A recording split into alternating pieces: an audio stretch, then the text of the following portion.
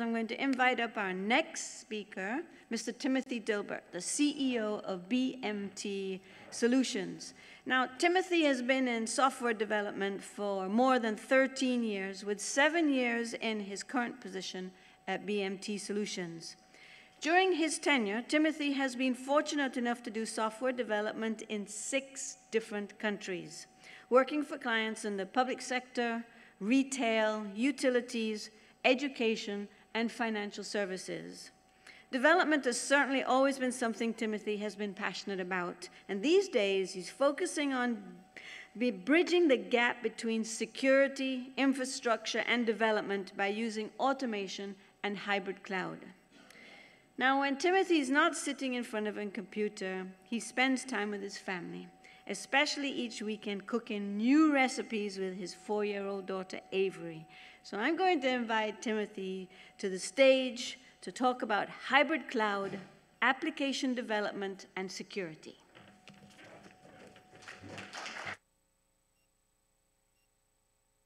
Okay.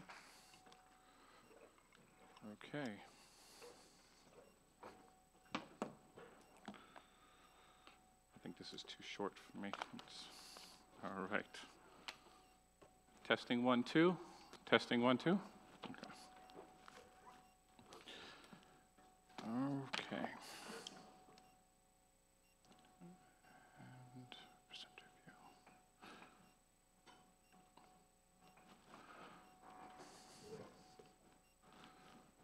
Forward, back. Okay, great stuff. Hello, everyone. Uh, my name is Timothy Dilbert. Uh, welcome to Hybrid Cloud Application Development and Security. Uh, the goal for today is to give you an introduction to what all these terms mean, and uh, hopefully, with you leaving, having an understanding of how it's applicable to you and your organizations. So, first of all, uh, let me start off with saying this talk is not just for the geeks. Don't laugh, these are my people. Uh, I am a geek myself, obviously, not very good with the clicker. Uh, if your company leaders are in the building, but they're not in the presentation here, now's a good time to go grab them. The idea here, um, like Ms. Jane had mentioned, is to bridge the gap between the techie guys, us geeks, as well as the decision makers in your company.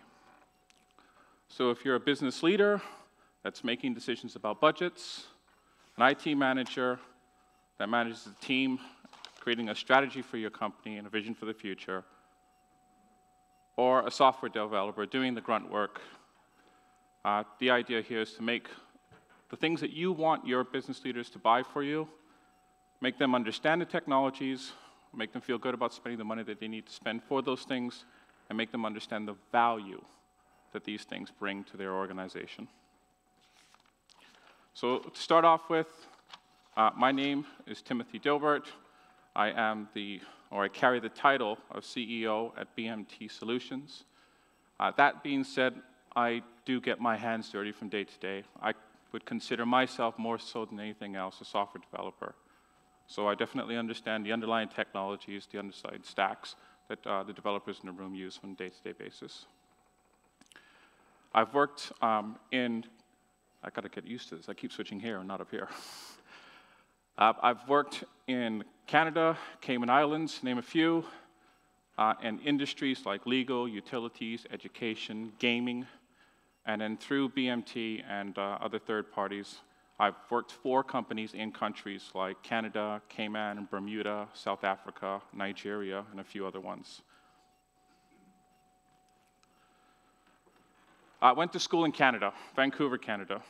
I studied graphic design, but after a few conversations with uh, some of the professors there, they mentioned to me that software developers make more money, so that made that switch easy.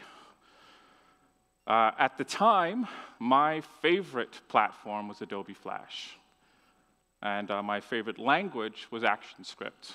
Not sure if you guys remember the 2000s, but just about all the great websites were built in Adobe Flash at the time. Uh, in my opinion, an absolutely brilliant, brilliant platform. I wish it had uh, stood the, the uh, test of time, but alas, it hasn't. Uh, while I was in Canada, one of the things I, one of the projects I worked on was Big Bucks Footy. So Big Bucks Footy was a fantasy football game. Uh, this was before fantasy football became as, as kind of prevalent as it is now. Uh, but you, a lot of you are probably in some sort of fantasy football league, or you have uh, someone very close to you that is part of one. Back then, it wasn't so prevalent. It was one of these things that just a few people, a few groups of people did. My involvement on that platform was uh, I built the UI for it. So that would allow you to kind of, Big Bucks Footy would allow you to watch the fantasy football games in real time. You can kind of see the ball being passed around between all the people. Uh, you can watch the fatigue of your players and uh, sub people in and out, and my job was to build a user interface that people used to do that sort of stuff. Uh, while I was in Canada, I also started a company called Go Rent Canada. Uh, that was me and a friend of mine, Scott. Uh, and that was a multi-listings apartment, multilingual apartment listings platform. So um, in Canada, uh, or in Vancouver, if you're not familiar with it, Vancouver is a very, very multicultural city. Absolutely fantastic place. If you haven't visited, I would put it on the list. Uh, it's, it's the gateway to Asia. Uh, it has, because a lot of movies are shot in Vancouver, there's a lot of innovation and technology brought up from the United States there. Uh, it has a massive Persian community, and those, in my opinion, are some of the most innovative and hardworking people I've ever come across. And with them, they bring a lot of innovation and a lot of culture from where they're from. And uh, at the, the end result of that is kind of like what you have here in Cayman. It's a very, very multicultural area. Uh, the idea behind the platform that me and Scott had was uh, we got sick of Craigslist. You, you go on there, you're looking for a place to rent. Uh, landlords speak various languages. Hard to find the apartment that you're looking for. So we built Go Rent Canada. What it allowed people to do is it didn't matter what language you spoke. You could go onto our platform, post a listing about a, a vacancy that you had in whatever language that you had it in, and we would automatically show that in over 14 different languages. So English, Farsi, simplified Chinese, traditional Chinese, Korean, French, German, Russian, and I'm sure there's a lot of other ones that I'm missing out on.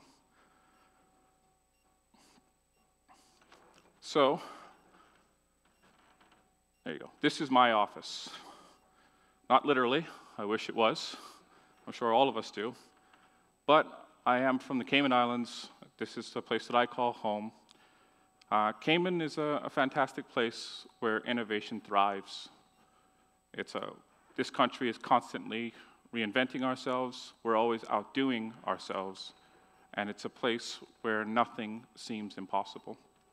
I consider myself very lucky, even though I'm born here, even though I've raised here, I still consider myself, as I'm sure everybody else in the room that's resident here believes, which is that uh, we're very, very fortunate to be in a country where all those things that I was saying before is genuinely the case where anything is possible. These are some of the different technologies I've worked with over the years. Uh, I've seen some familiar faces in the room. You'll probably know me from SharePoint. I've been doing that for the better part of 15 years or so. Uh, I work with these, when I work with these technologies, it's generally connecting disparate systems together, right? Or some sort of integration work.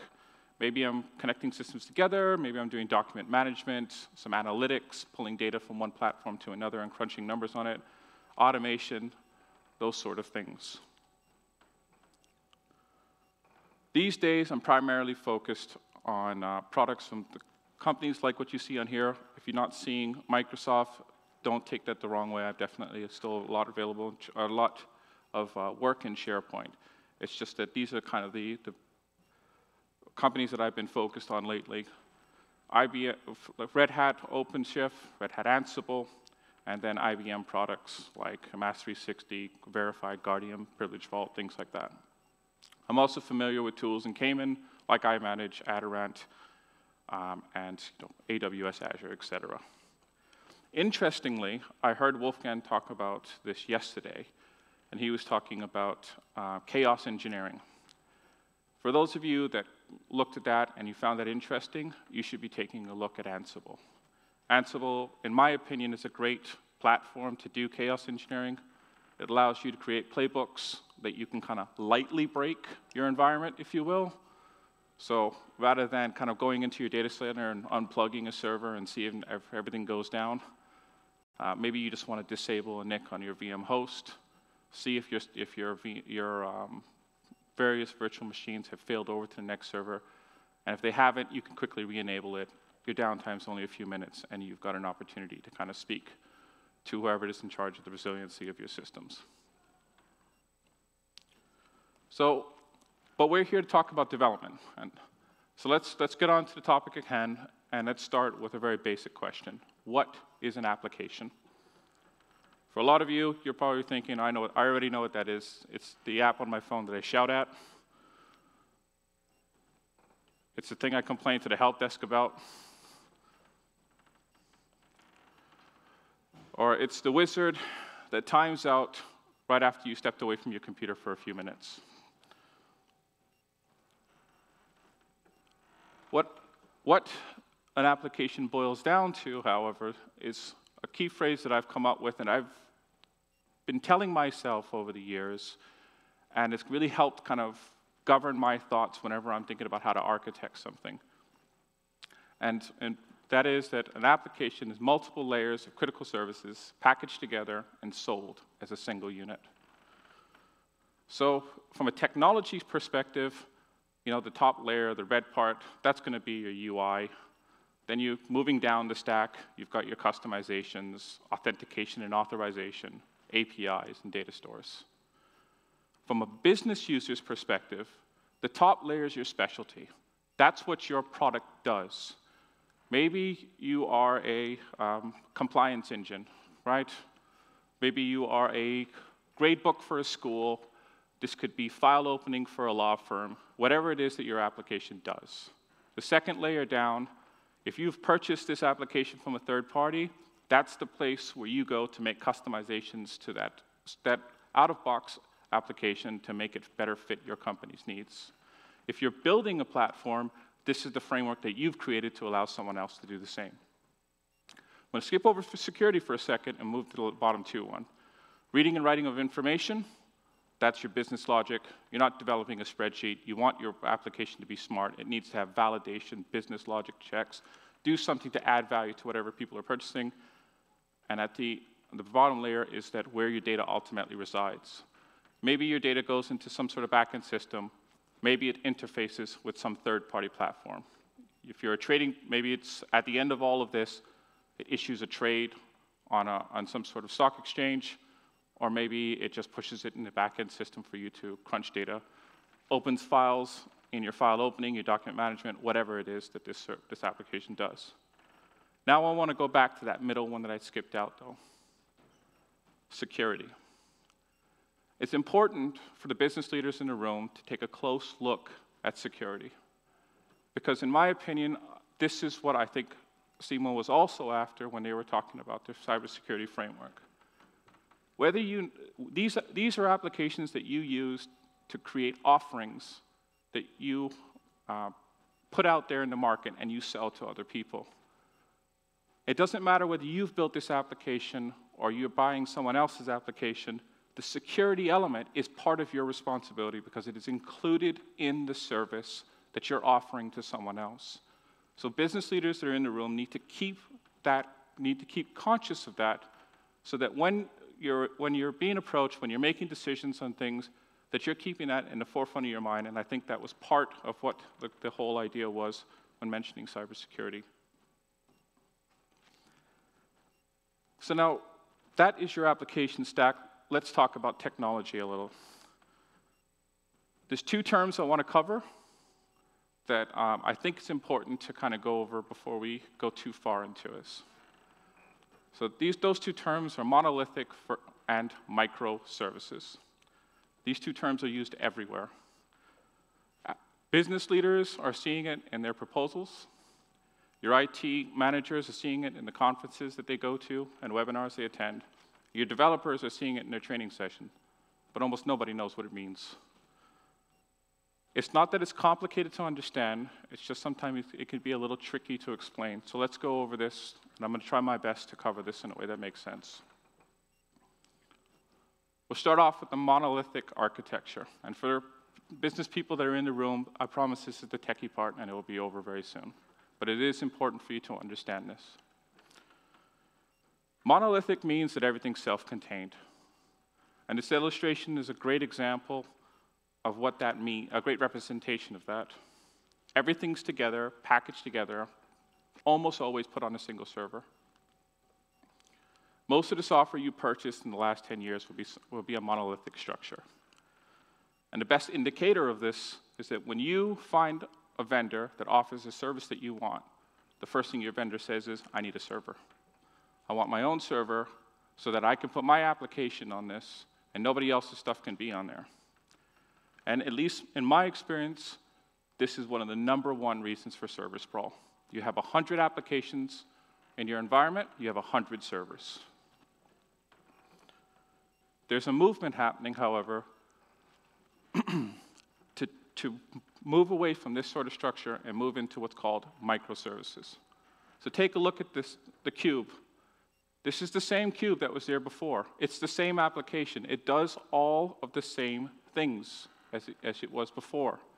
You have this, to your end users, they have the same UI, they have the same experience, the same business logic that we were talking about before is there, and data is still being written to the same data sources.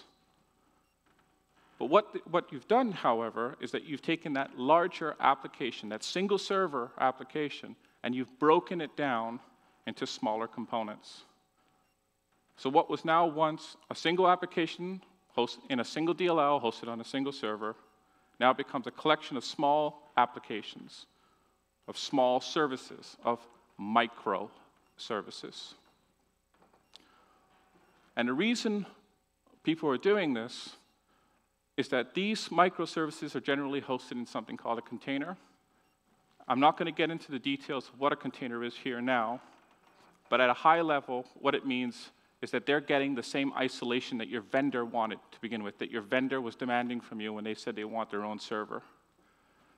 You, your application is still operating within a small environment, it's isolated from everything else, and you get all those benefits without the overhead of another operating system, another, which also requires endpoint detection and response agents, event management, Privileged access management, your licenses fees are going up and up and up, which is where business users start caring about this. Backups, monitoring, licensing, and much more. So now what was once a cube that looked great, this is what your applications start to look like. Now, if you're not a technical person and you're looking at this, your, your, your first response is, no thank you, I'll take the cube. It's better to understand. And if you're a developer in the room that understands microservices architecture, you're probably thinking, why couldn't I have come up with a better diagram than this? Bear with me. I'm going to answer some of those questions now. now, first question that is on everybody's mind, though, is why would you want a microservices architecture? We talked about the server sprawl that you get from monolithic. But in order to understand why people would want a microservices platform, let's take a look at the greatest system architect of all time, Mother Nature. Because people have a hard time conceptualizing what microservice actually means,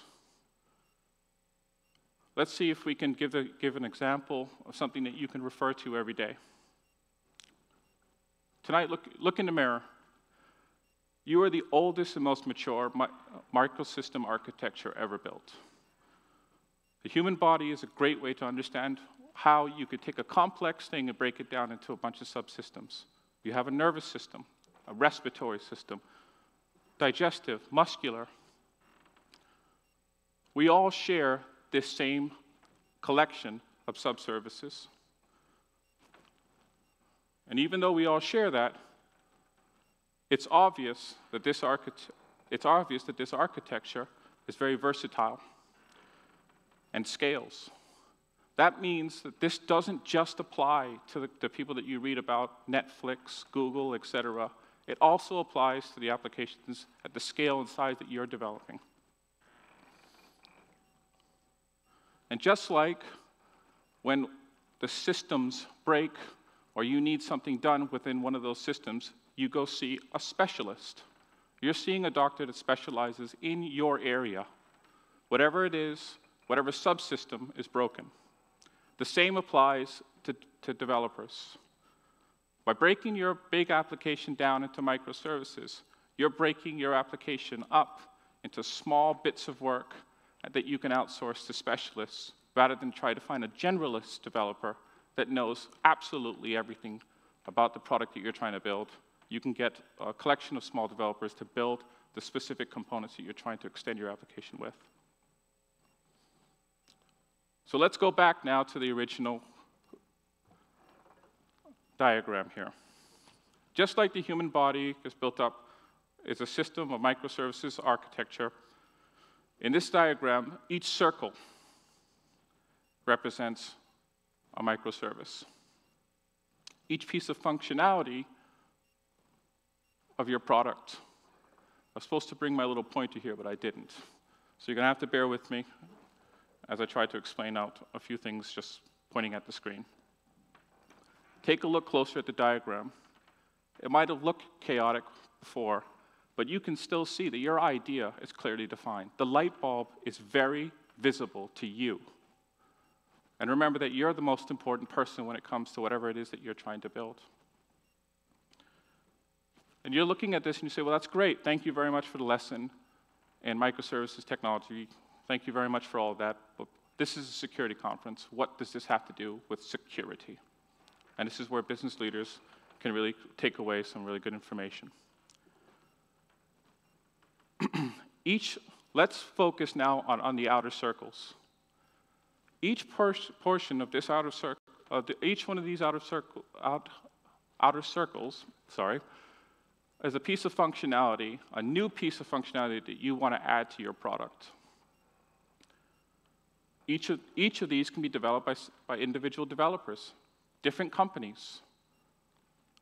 All of them can contribute to your overall idea, which you can snap that functionality into your application. But you can also keep them locked out of the underlying code, the underlying nuts and bolts that make your unique product. Because of concurrency, things are being developed faster. And you can work with vendors that specialize in whatever small service that you're trying to create. And when these companies that you've outsourced to leave and they work with your competitors, they're not taking their, your idea with them because they didn't have visibility into all the different pieces of functionality inside of your application. They built you a specific thing. They built you a shareholder register management system. They built you a, an AI engine that gives you predictive analytics. They didn't get into the underlying code, the core piece of your functionality. They didn't take your idea and they're not going to bring it to someone else. Now, while this is the case, you're still going to be developing on some sort of common framework, some sort of, of common set of tools. So let's zoom out a bit from your application and take a look at this more holistically. Most, when you, the, the application that you develop and the underlying microservices that make up your application, those are running on a common set of tools like object storage, e-signing, maybe some sort of in, in-memory database, identity and access management. And rather than build all of these things yourself from scratch, you can utilize these services that are built by others. And this is where hybrid cloud starts to shine. You can go on to places like Amazon, like Azure, like IBM Cloud, and find these services for rent, if you will. The problem is, is that these are traditionally cloud-based. We all know about the environmental reasons why in Cayman it's it can be difficult, cloud can sometimes be difficult. With hybrid cloud, you can pull these services, these traditionally cloud services, on premise and run them on your infrastructure sitting in your data center or in your office. So now you've got these robust systems that previously were running in the cloud, that were something that you couldn't touch you can, do, you can pull down these services through platforms like OpenShift and run them on hardware you can look at in a jurisdiction that you feel comfortable with. Let's zoom out a little further. You need, you should have a multi cloud strategy. We're getting out of the technical now and we're getting into the business side of this. Remember, security is not just about protecting a teenage kid trying to hack into your laptop or some geopolitical enemy. It's also about protecting the continuity of your business. As you heard, clouds go down. Cloud prices can change. Things can happen that affect the availability of your services. You, sh- you should never and you should not be betting on a single cloud provider for those reasons. Betting on a single cloud provider is kind of like getting two internet connections into your building, but having them both come from the same internet service provider. It's just not a good idea. Remember, every, these clouds exist, and every cloud has a niche.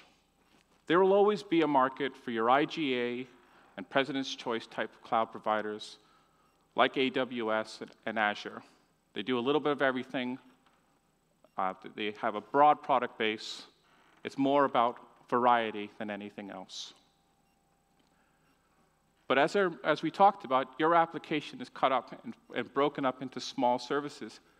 You want to be able to take some of your microservices and run them on clouds that have a specialty and a niche that you need. So if you want to do image processing, AI inferencing, predictive analytics, maybe IBM Cloud is a better fit for you. And you run that one component of your application up there. Storage, AWS, interoperability, Azure, you've got Windows, it makes a lot of sense. The idea there is that you're not beholden to anyone. And you need to make sure that the tools that you have to automate these things can work on every cloud provider.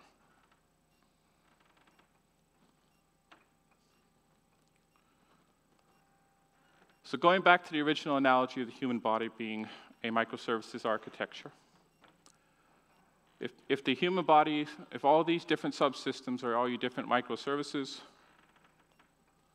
identity and access management is the heart of your platform. So, what is identity and access management? Well, let's take a look at Office 365.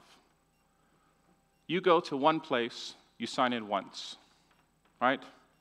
And then you have access to all of these different systems and services. That's one part of, of what identity and access management gives you.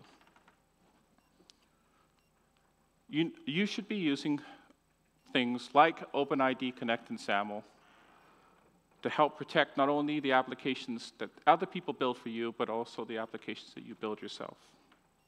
Stop using Active Directory to manage your authorization and to your applications. Active Directory is great for Windows, not so great for iOS and Mac. It's not compatible with a SaaS architecture. And then sooner or later, Active Directory becomes this boneyard of groups, AD groups, that nobody knows whether they're still in use, what their original function were, and everybody's too afraid to delete them because they don't know what it's going to break. I could, I, I could see the IT guys over there.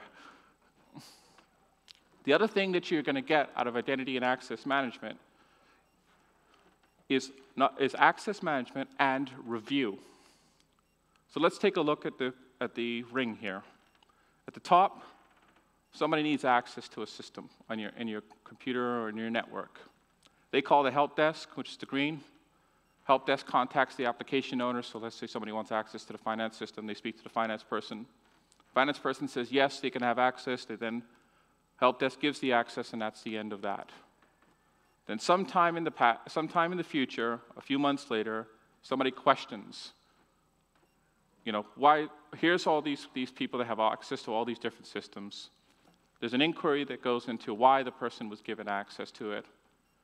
And then the application owner is eventually contacted, and, and there's some sort of determination that uh, the access is no longer required.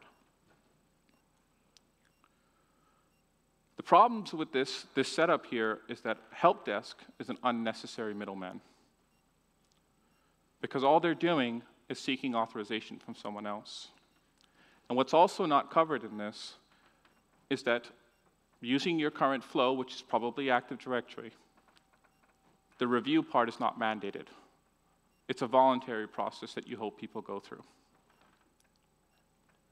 Let's take a look at what happens when you use an identity and access management platform.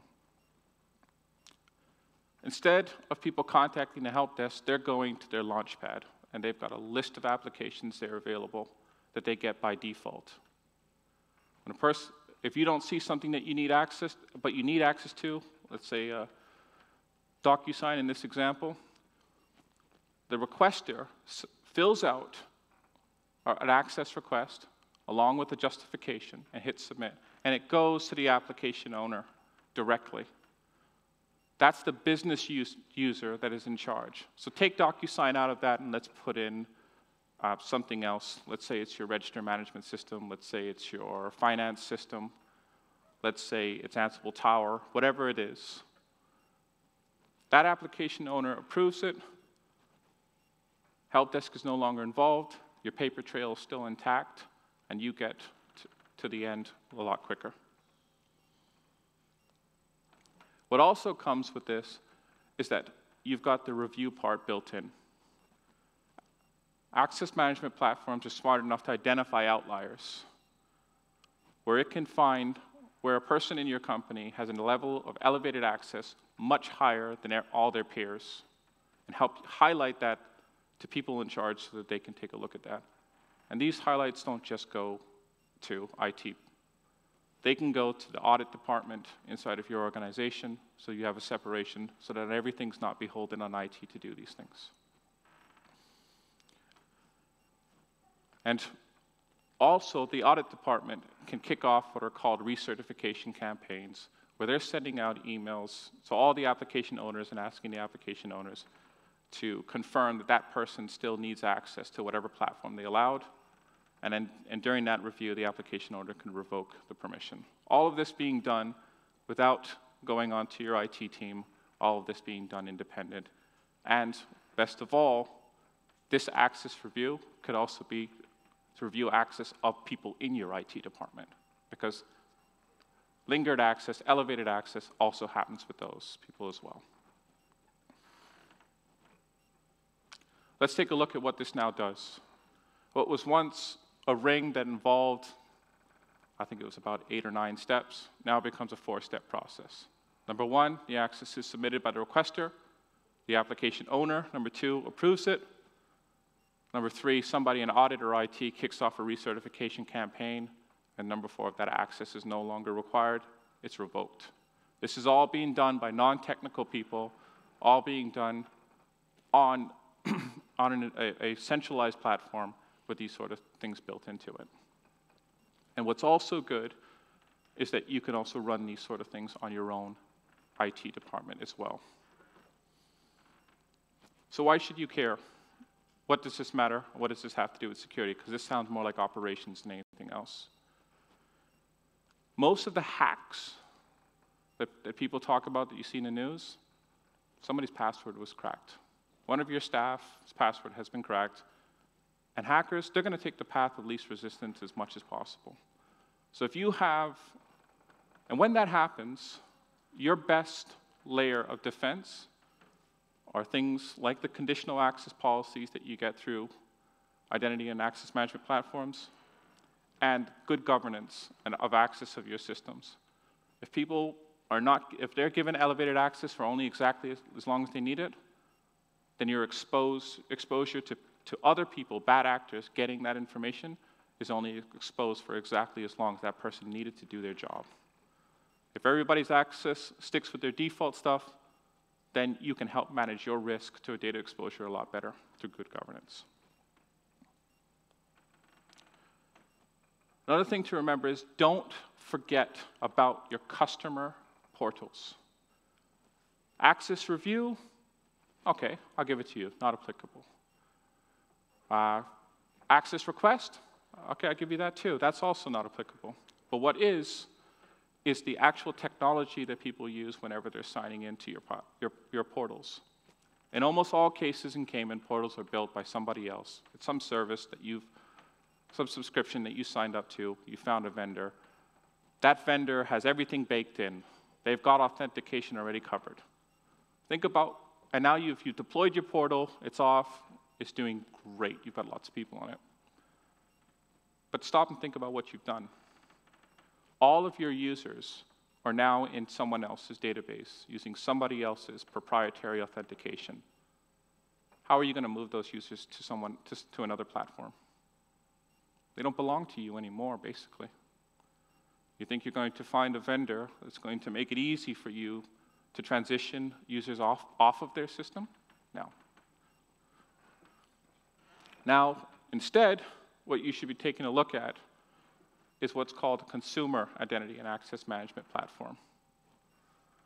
What this allows you now is the ability to get people signed into your platform, and it creates a separation between the authentication part and the service that they're using. So, an end result, from a, your end result is that your users will go to your portal, they'll get redirected to a sign in page, they sign in, they get, they get taken back to your home page of your portal, and they're utilizing your service. They've got access to everything that you've wanted them to have access to. If you then, remembering our microservices structure, right? An application is not any one thing, it's not any one server, it's not any one service. If you have a portal that does 99% of what you want, but you want to add uh, that extra 1% of functionality through some other, maybe custom development, maybe some other, some other vendor's portal to supplement the services that you need out of the primary one, they can also use your consumer and identity access management platform. So just like in Office 365, you go to portal.office.com, you sign in. Next step, you need to get into SharePoint. You click SharePoint. That is a totally different service, platform, vendor, data center in a different geographic place in the world. But I'll bet you anybody that was in this room that isn't a software developer, you probably wouldn't have known. A couple redirects happen, you're taken in. That's what's going to happen with your customers. And what it means for you as a business owner is that if you have, a, you have a portal that you're very proud of, that you've done really well on, that you've got good customer buy in, and you want to later move to another platform that's a little bit better, that offers a little better services, or maybe the platform you're on right now have kind of ended up in the news and you want to distance yourself from that, you can now move to another platform because the vendors that you select use the technologies I mentioned before OpenID Connect, SAML. Write these things down. Make sure that you include it. That is something for business leaders as well. OpenID Connect, SAML. You should be asking your vendors whenever they're talking to them, do you support this? Because this is a way that you can avoid yourself getting locked in with a different developer, with a, with a, a vendor. Because I tell you something, if your plan is, dear customer, I've moved to a different platform, I need you to re register, this is what you're going to get.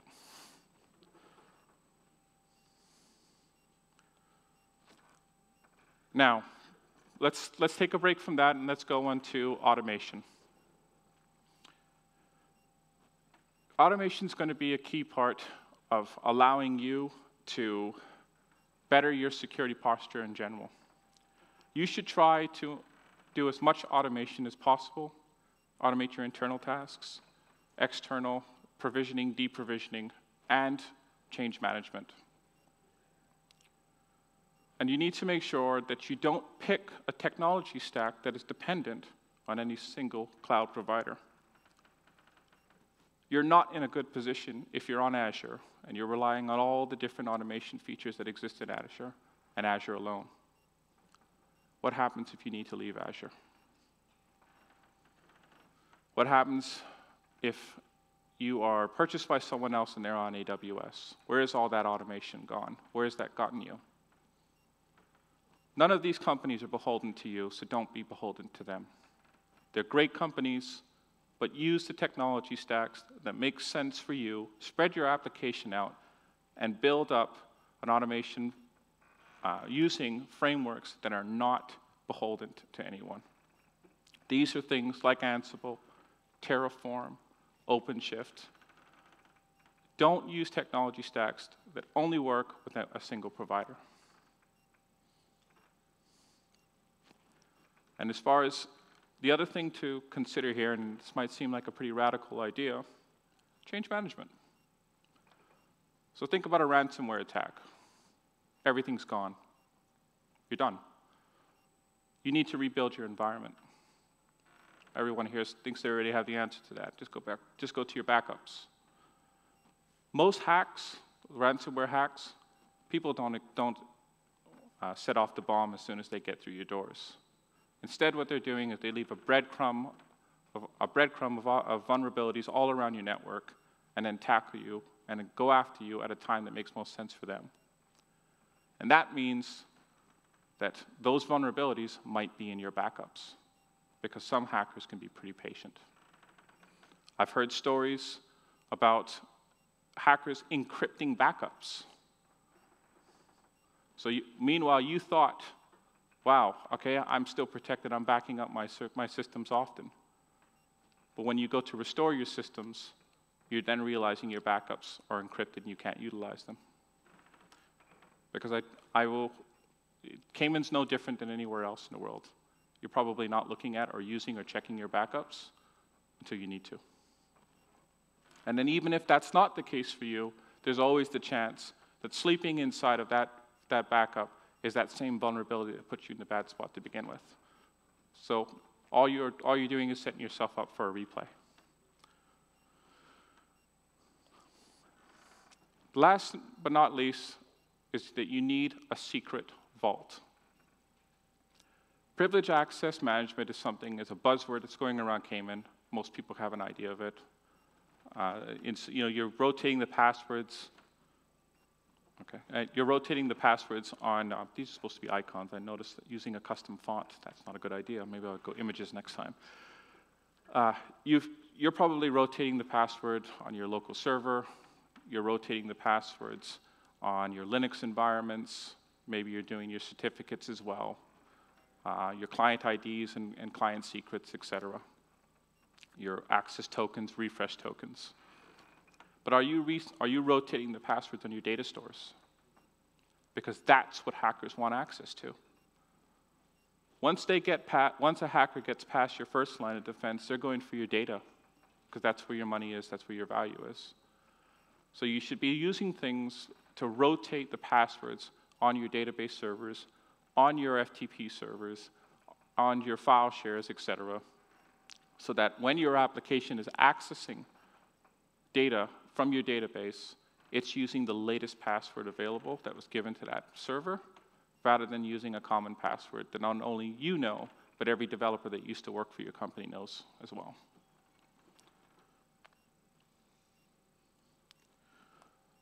So, what do I do? My wife warned me that I should change that photo. When I asked her why, she says, because he looks better than me. I told her that it doesn't help me because it doesn't matter what photo I put up there. It's probably always going to be the case. Uh, I, help, I help companies create development strategies, includes multi-cloud. I'm generally talking to people about avoiding vendor lock-in, which is what you need to do. This is what you should write down. And then automating anything and everything. These are the sort of strategy, it doesn't, if you take the what do I do part out of this slide and you just look at the bullet points, these are the things that you need, that I've tried and you should try to take away from this talk, is to help you better position your company. It doesn't matter who does it for you. These are the things that you should do that will help increase your security posture. Right? Multi-cloud, avoid vendor lock-in, automate as much as you can because that's going to help you come back, and then break, and then uh, you know, developing, try to your best to break down the barriers between your decision makers, infrastructure, and developers. Thank you very much for your time. Um, does anybody have any questions?